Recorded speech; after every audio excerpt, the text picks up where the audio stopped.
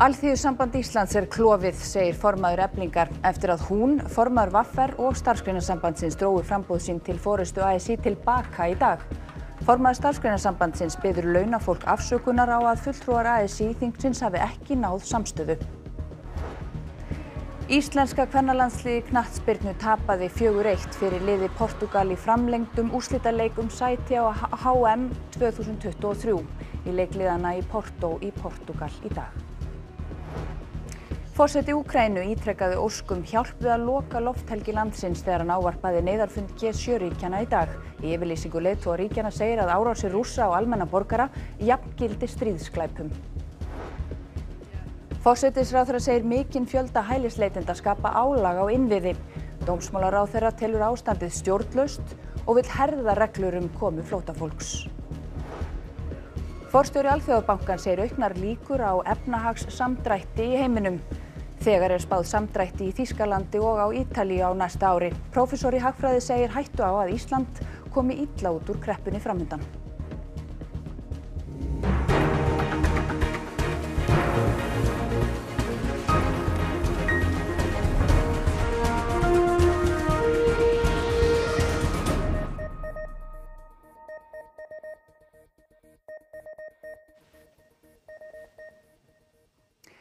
Gott kvöld. Við byggjumst velvinningar á því að við erum aðeins setna á ferðin en venjulega vegna leiks Íslands og Portugal í undankeppni HM í knattbyrnu Kvenna. En þau stórtíðindi urðu á þingi ASI að formenn tveggja fjölmennustu félaga innan ASI og formaður starfsgrunarsambandsins dróðu frambóð sín til forseta og varaforseta tilbaka. Framhald aðildar félagana ASI ræðist eftir samtöl innan félagana. Klukkan hálf þrjú í dag var settur á dagskráliðurinn önnur mál á þingi ASI. Þar tilkynntu þau Ragnar Þór, Vilhjálmur og Solveig Anna að þau dræju frambóð sín til forseta, annars varaforseta og þriðja varaforseta tilbaka. Þingi þó fram fyrir luktum dyrum en þegar gert var stuttlega var greinilegt að fólki var brúðið eins og eina frambjóðanda til forseta ASI. Eins og ég segja, þetta bara kom óvart og ég kannski svolítið að bara, já, ná utanum þetta. Ertu í sjokki? Pínu kannski, en ég er kannski meira hissa heldur en í sjokki. En var fundað og lokskunduðu formenninni þrýra af þingi. Þarna, viltu ekki segja um þetta, þessa, þessi stóri tíð í dag? Ekki á þessu stíð. Þegar maður vant að þess að heyra frá þér? Mjög fljótlega, mjög fljótlega. Vilhelmur, mætti ég spyrja þig, eh, já, hvort að þessi, þetta að draga frambústið tilbaka, hvaða þýðir? Það þýðir bara slæmt og ég vil bara byggja íslenskt launafólk afsökunar á því að hér hafa ekki náðst samstæða um að stilla bökum saman, koma fram sem einheilt. Í miður erum við mikið um persónlegt nýð og, og hattur á milli einstakara fórustumana. Er starfsgrunnarsambandi að draga sig út úr aðeins í? Nú bara förum við heim í okkar hér og, og uh, bara tökum stöðuna og vegum og metum framhaldið. Það er ekkit annað sem við gerum. Fórustumar í stéttafélagi er ekki neitt án sinna félagsmanna og við þurfum bara að heyra í okkar félagsfólki. Það gæti verið að brattan að sækja hjá Vilhjálmi því margir formenn aðildarfélaga innan starfsgreinasambandsins hafa gaggrind Ragnar Þór og Solveigu Önnu Harlega. En Solveig Anna er formaður eblingar og ebling er aðildarfélagi í starfsgreinasambandinu. Nú er bæði Vaffer og ebling, þetta eru einn stærstu fjölmennustu félög innan ASI. Þetta eru tvö stærstu félögin. Já og má þá segja það að með deginum í dag að ASI, Alþjóðsamband Ísland, sé klofið. Já, ég held að það sé nokkuð augljóst. Um stór meiri hluti þingfulltrúa var rétt í þessu að ganga hér út, þannig að já, ég held að það sé augljós álöktun að draga. Voru þetta samantekið ráð hjá ykkur uh, Ragnari og Vilhjálmi? Meinaru að fara hér út? Já. Já, ég held að það hljóti nú að vera ljóst að fólk hefur augljóslega rætt saman og komist að þessari niðurstöðu. Solveig Anna við það í dag þungorð um framgöngu Ólafur Helgu Adolfsdóttur reytara eblingar. Solveig ætlar að funda með eblingarfélögum um framhaldið og augljóst var að fagnaðalátum félaga hennar í dag og þau voru ánægð með ákvörðunina. Samtals er um 130.000 launamenn innan ASI. Að þeim eru næri 50.000 í vaffer og næri 30.000 í eblingu. Gangi þau úr ASI verða 50.000 eftir. Þingi ASI verður framhaldið á morgun, þá er fórsetakjör á dagskrá og enn hægt að bjóða sig fram. Finnbjörn Hermansson, þú ert varamaður í miðstjórn ASI og það hefur nú oft gustað um alþjóðsambandið en mannstu eftir viðlíka deilum? Það hefur oft verið deilur en alþjóðsambandsins, bæðu menn og málefni en, og menn hafa gengið á dyr áður en aldrei jafn fjölmennt eins og í dag. Er líklegt að þessir þrýr formenn félaga sem dróðu þarna frambóð sín tilbaka í dag að þeir beitir sér fyrir því að félagin þeirra hreinlega gangi úr sambandinu? Eh, Ég gerir ráð fyrir því svona þegar að eh, reiðin rennur af fólki að þá hérna, munir menn sjá ávinningin af því að vera í alþjóðisambandinu og hversu sterkt alþjóðisambandi er. Þannig að ég svona, á ekkert frekar vona því en, en það er þeirra val. En hvað þýðir þetta fyrir ASI? Þetta þýðir allavega tímabundið að við erum klófin en, en verkefnin hlaup ekkert frá okkur. Það eru kjara samlinga framöndan og með einum með öðrum hætti þá þurfum við að slíðra sverðin og koma saman sem ein heild, hvort sem maður undir merkjum alþjóðusambansins eða einstakra félaga en, en verk, verkefnið það fyrir ekki frá okkur. Takk fyrir þetta, við sjáum hvað setur. Takk fyrir komin hingað í stúdíóð. Ísland tapaði fjögur eitt fyrir Portugal í framlengdum leik í umspili fyrir HM Kvenna í fótbolta í Portugal í kvöld. Þar með ljóst að Ísland verður ekki meðal þáttöku þjóða á HM árið 2023. Gunnar Birgisson, íþróttafréttamaður, er stattur í Portugal. Gunnar, eru þetta ekki vonbriði? Jú, það má með sannig segja að þetta séu algjörlega mikil vonbriði fyrir íslenska liði sem að kom hingað mjög bjart sínt og vongott um það að, að ná sæti á HM í fyrsta skipti í sögu íslenska kvennalandsliðsins. En já, allt kom fyrir ekki, þetta var baráttur leikur, íslenska liðið hefði mögulega geta spilað betur sérstaklega í fyrriháleiknum en komu brattar inn í setniháleikin og svona þegar að augnablikið var svona aðeins að færast okkur í vil að þá lendum við í því að já, fá að einhverja mati ósangjant raukt spjald og vítaspyrnu og þar með þessi já, í raun og veru þrefaldar refsing við missum manna velli, fáum á okkur vítaspyrnu og svo sömulegis mark í kjölfarið. Og íslenska liði svarar vel en, en uh, þegar í framlenginguna er komið og íslenska liði búið að vera manni færri rétt hæflega heilan hálfleika að þá einfallega voru bara Já, góð ráð freka dýr. Við þurftum að reyna að sækja til þess að koma komast í veg fyrir að fara í þetta umspil í Nýjasjálandi í februar og já, svo fór sem fór og, og já, þetta endar með því að við töpum fjögur eitt sem að kannski gefur ekki alveg rétt að mynda leiknum en, en baráttan og, og andin í liðinu var frábær allar þessar 120 minútur.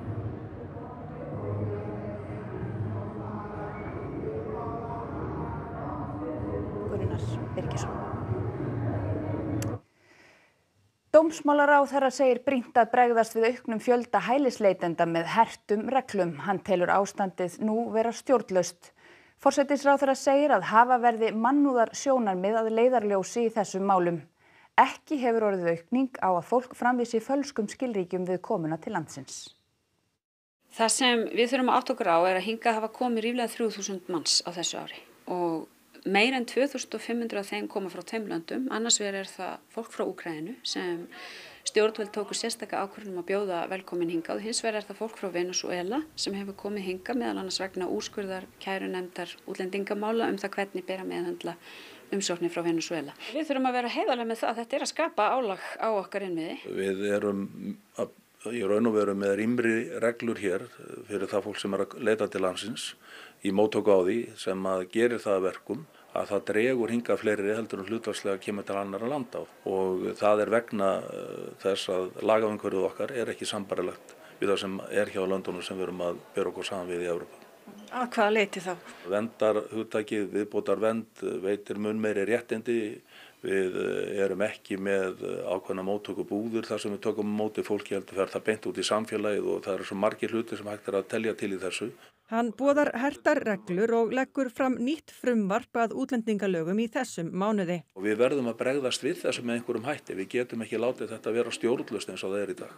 Ertu sammála því að það þurfi að herða útlendingalögjöf eins og dómsmálar á þeirra boðar? Það kann vel að vera að við þurfum að skoða það hvernig við getum gert hana skilvirkari í okkar samfélagi en um leið verða áfram mannúðar sjóna meðan að leiðaljósi í okkar meðandun á þessum málum. Jón segir dæmi um að fólk misnoti kerfið og komi hingað á fölskum vegabrifum. Það er að koma hér fólk til landsins með nýjútgefum vegabrif frá landum og sem eru þá í allt öðrum heimsluta heldur en þau eru kannski auðvuslega að koma frá.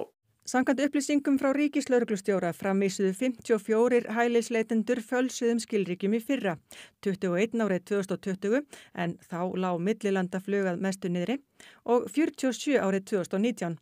Samkvæmt svari frá lauruglustjóranum á Suðurnessum hafa 14 komið á fölsuðum skilríkjum á þessu ári og 53 án skilríkja.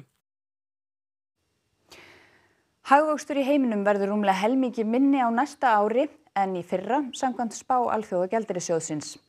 Forstjóri Alþjóða bankan segir aukna hættu á samdrætti í heimsbúskapnum. Professor í Hagfræði segir að Ísland gæti komið illa út úr kreppunni. Efnagsspá Alþjóða Gjaldeyrissjóðsins sem byrtist í dag er bísna dökk. Hagvöxtur í heiminum fer frá 6% í 3,2% á þessu ári og mingar niður í 2,7% á því næsta. Ef einstakar svæði eru skoðuð fer hagvöxtur á efrusvæðin úr 5,2% í fyrra í 0,5% á næsta ári. Spáðir samdrætti í tveimur Európulöndum, 0,3% í Þískalandi og 0,2% á Ítalíu. Í bandaríkjunum verður 1% að hagvöxtur á næsta ári og 0,3% í Breitlandi. Svona tölur hafa ekki sérst frá árinu 2001 nema í fjármálakreppunni 2008 og í heimsfaraldrinum. The global economy is weakening further and facing a historically fragile environment. There's the, the risk and the real danger of a world recession next year. Uh, some, the, the advanced economies are, are slowing in Europe. Þessi eftirspunna sprengja sem var eftir COVID er núna búin. Í öðru lagi verðbólgan miklu herri heldur hún hefur búist farið við og er núna herri heldur hún hefur verið í fjóra ára tíu og í þriðalagi þá er að innráðs rúsa í Úkrænu sem hefur líka tröfla efnarslíf heimsins tölur mikið og allir þessi þætti spila saman. Samdrátturinn í Þýskalandi og Ítalju skýrist aðalega af því að þær þjóðir hafi verið háðar rúsnesku gasi í sínum yðnaði. Undur eins og verð á gasi hækka mjög mikið þá strax streks mjög mikið saman efnarslíf í þessum löndum og það er það sem útskýrða okkur í Þýskaland sérstaklega er að fara svona illa út úr þessu. Jón segir að áhrifin verði mest á fólk sem er með læri tekjur til dæmis verkafólk og fólk í þjónustustörfum. Ástæðan er að orka og matur hafi hækkað mest í verði. Áhrifin á Íslandi felist engum í minni eftirspurn eftir þeirri lúksusvöru sem flutt er út. Það er oft sagt að ef að Evrópa far kvefa þá far Ísland lúnabólgu. Þannig að við getum búist við það ef illa fer að við munum fara tildur að illa út úr þessu á Íslandi. Jón segir að í sögulegu samingi sé þessi kreppa þó ekki stór. Á slíku getur verið von á tíu ára fresti þetta er ekkert sérstaklega slamt, þetta, er efnað á samdráttur auðvitað, en þetta er ekkert mjög mikið í söguleg samgjöfu við séum miklu, miklu verri kreppur áður heldur en núna. Jökulhlaupið í Gíukvísl úr Grímsvötnum er talið ná hámarki á morgun. Hlaupið er lítið og mælist ekki enn á mælum veðurstofunar. Því er ekki hægt að staðfesta hvort hlaupið sé komið í ána. Íshellan hefur síð um rúmlega 5 metra á síðustu dögum. Ef Grímsvötn tæmast alveg getur íshellan síð um alltaf 10 til 15 metra.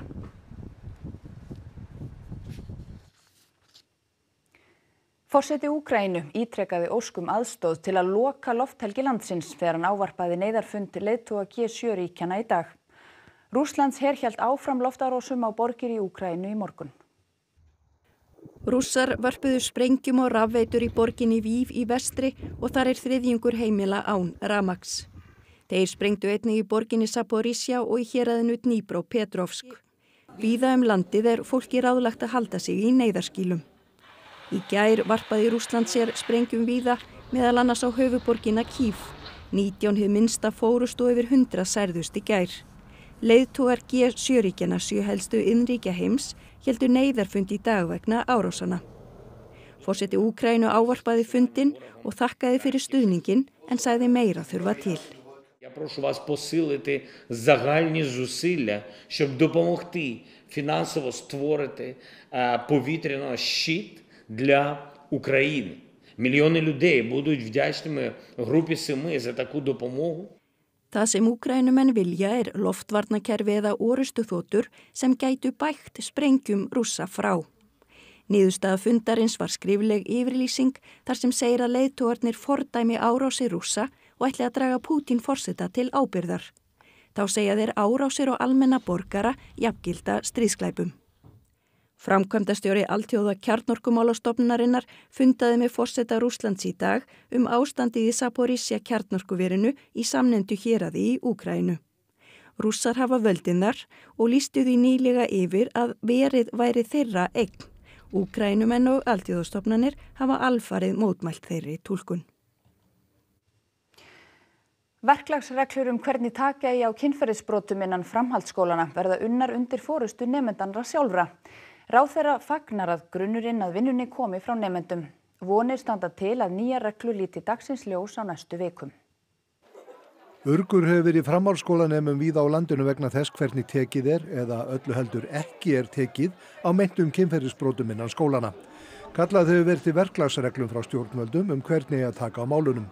Í síðustu viku fengu fulltrúar sambands íslenskar framhalskólanema bóð á fund með ráð þeirra í dag um málið en þeim fannst lítið hafa miðað hjá ráðuneytinu og höfðu þeir stopna starfsóp með ímsum sérfræðingum sjálfur. Trösti á vinnu ráðuneytisins fór þverrandi hjá nefndunum sem sjálfur voru komin langt með sína vinnu og ákváðu þeir þessi staðabjóða ráð þeirra að taka þátt. Fulltrúar þeirra gengu á fund ráð þeirra í dag til að fara yfir stöðuna. Menta og barnamálar á þeirra sagði eftir fundin að ákveðið hefur verið að vinna saman að lausn undir fórustu nefndana.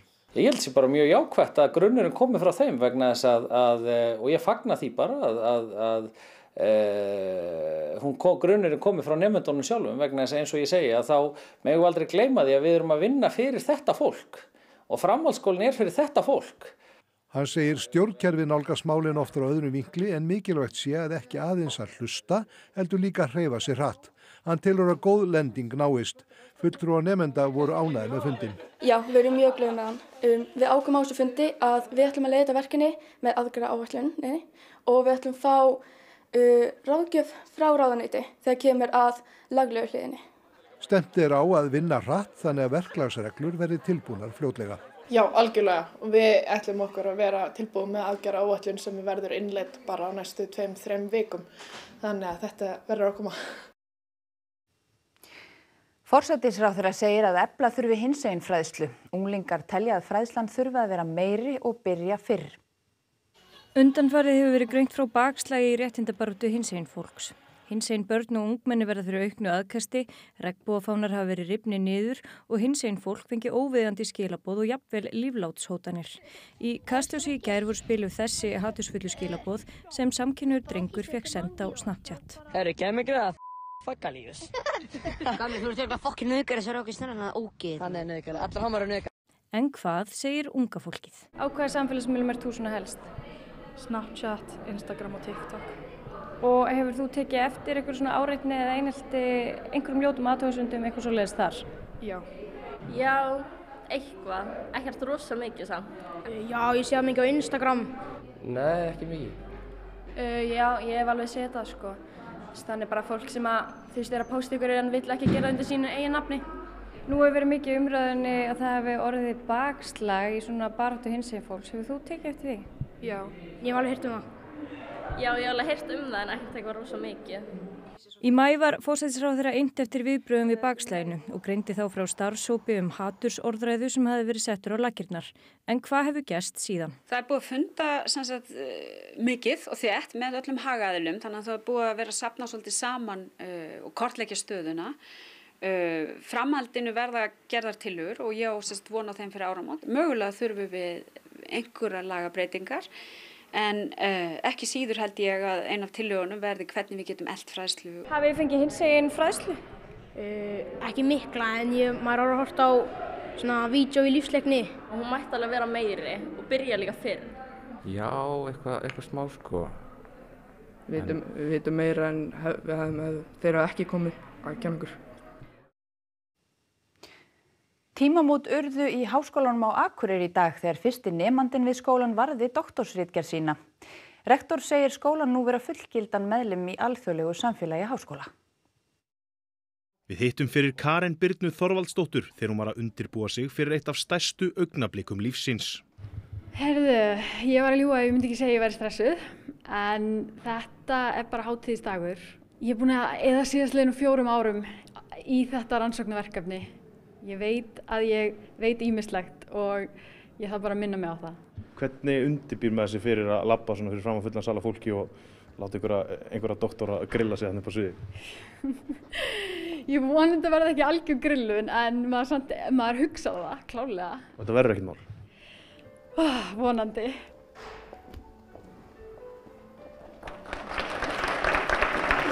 All right, let's start with the overall aim. Jæja, hvernig fór þetta? Heyrðu, ég náði þessu. Þetta fór vel. Ég er orðin doktor sem er ótrúlegt. Ég er ekki að trúa því. Þannig að nú getur þú labbað um bæinn og, og kallaði doktor. Já, ég mun ekki gera það, en ég gæti það faktist.